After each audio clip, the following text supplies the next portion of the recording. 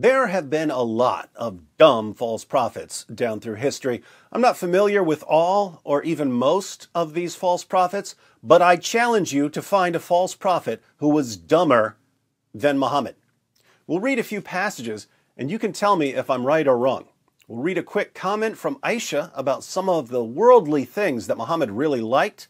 Then we'll briefly review a topic that we've considered before, namely Muhammad accepting a poisoned meal from a woman whose family he had just slaughtered. Then we'll read a few short passages about what Muhammad did right after that. And we'll see that as dumb as you thought Muhammad was for accepting a poisoned meal from a woman whose family he had just slaughtered, he was so dumb that he learned absolutely nothing from his mistake. So, first, some worldly things that Muhammad really liked. Ibn Sa'd, Volume 1, page 469. Aisha said, The Prophet of Allah, may peace be on him, liked three worldly objects perfume, women, and food. He obtained two and did not obtain one. He obtained women and perfumes, but did not get food. Now, obviously, he obtained food, or he would have starved to death, Aisha seems to mean that he didn't get enough of the delicious sort of food he liked. He got plenty of perfume and plenty of women and girls, but not enough delicious food. Why is this important? Well, when we talk about Muhammad liking food and liking women, that's an understatement. Lots of men like food and women. Muhammad liked food and women so much that when some delicious food or a beautiful woman was in front of him, he lost his ability to think clearly, and he would become so obsessed with having the food or the woman, he would put lives in danger. So, familiar example Muhammad and his companions conquered the Jews at Khaybar. After the battle, a Jewish woman, whose family had just been slaughtered, offered to cook a delicious meal for Muhammad. And Muhammad, tactical genius that he was, kindly accepted her offer. Sunan Abu Dawud 4512 starts off with a little passage about Muhammad accepting gifts. Then we have this version adds So a Jewess presented him at Khaybar with a roasted sheep which she had poisoned. The messenger of Allah ate of it, and the people also ate. He then said, Take away your hands from the food, for it has informed me that it is poisoned. Bishr ibn al-Bara ibn Marur al-Ansari died. So he, the prophet, sent for the Jewess and said to her, What motivated you to do the work you have done? She said, If you were a prophet, it would not harm you, but if you were a king, I should rid the people of you. The messenger of Allah then ordered regarding her, and she was killed. He then said about the pain of which he died, I continued to feel pain from the morsel which I had eaten at Khaybar. This is the time when it has cut off my aorta. So, this poison eventually killed Muhammad. He spent a few years in pain and then it killed him. This story in Sunan Abu Dawud is missing an important detail. We can find the important missing detail in Ibn Sa'd, Volume 2, page 252 the apostle of Allah sent for Zaynab bint al Harith and said to her, What induced you to do what you have done? She replied, You have done to my people what you have done. You have killed my father, my uncle, and my husband. So I said to myself, If you are a prophet, the foreleg will inform you. And others have said, If you are a king, we will get rid of you. Muhammad killed this woman's father, her uncle, and her husband and then she offered to cook dinner for him. I've never met a person dumb enough to think it's a good idea to accept a meal from a woman whose family he just slaughtered, but Muhammad's about to get even dumber. What did Muhammad do after he was poisoned? Well, what did he really like besides food? Perfume and women, right? There are a bunch of passages about Muhammad almost getting himself killed again. We'll just cover the basics here. Sahih al-Bukhari, 4211.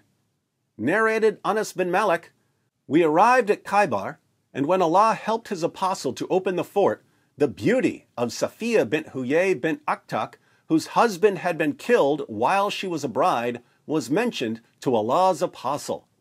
The prophet selected her for himself and set out with her. And when we reached a place called Sid Saba, Safiya became clean from her menses. Then Allah's messenger married her. Hais, i.e., an Arabian dish, was prepared on a small leather mat. Then the prophet said to me, I invite the people around you. So that was the marriage banquet of the prophet and Safiya. Then we proceeded towards Medina, and I saw the prophet making for her a kind of cushion with his cloak behind him on his camel. He then sat beside his camel and put his knee for Safiya to put her foot on in order to ride on the camel. This is glossing over some important details. So, Muhammad and his companions conquered the Jews at Khaybar. They divided up the spoils of war, and one of Muhammad's companions took Safiya as his sex slave. But then Muhammad heard how beautiful she was. As we just read, the beauty of Safiya bint Huyai bint Akhtab, whose husband had been killed while she was a bride, was mentioned to Allah's apostle. The prophet selected her for himself but she had already been given to someone else as a sex slave, so Muhammad had to buy her. What did he buy her with?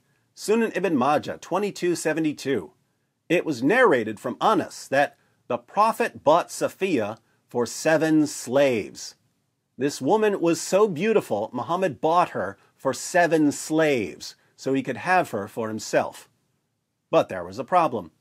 Muhammad had just slaughtered the woman's father, her brother, and her husband. In fact, Muhammad had tortured her husband to death. Then, after killing her father, her brother, and her husband, he decides to take her as his new bride because she was so beautiful. Watch how one of his followers realizes how stupid this is. The History of At-Tabari, volume 39, page 185. While the prophet was lying with Safiya, Abu Ayyub stayed the night at his door. When he saw the prophet in the morning, he said, God is the greatest. He had a sword with him. He said to the prophet, O messenger of God, this young woman had just been married, and you killed her father, her brother, and her husband. So I did not trust her not to harm you. The prophet laughed and said, Good. Now, Muhammad didn't get killed, but that was just dumb luck because he had put himself in the same situation he had put himself in when the woman poisoned him. He let Zaynab bint al Harith cook him a meal after he had killed her father, her uncle, and her husband. His stupidity there got one of his companions killed, and he eventually died because of his stupidity. But right after he was poisoned, he hears about a beautiful woman named Sophia, whose father, brother, and husband he had just killed, and he just can't resist. He has to have her. So he has sex with her, then falls asleep. Sophia didn't kill him, but she could have. Muhammad's companion, Abu Ayyub, stood outside Muhammad's tent all night with a sword in his hand, thinking to himself, are you serious? Muhammad just got poisoned because he couldn't resist some roasted lamb, and now he's about to get stabbed or smothered because he couldn't resist a pretty face? I challenge you to find a dumber false prophet than this.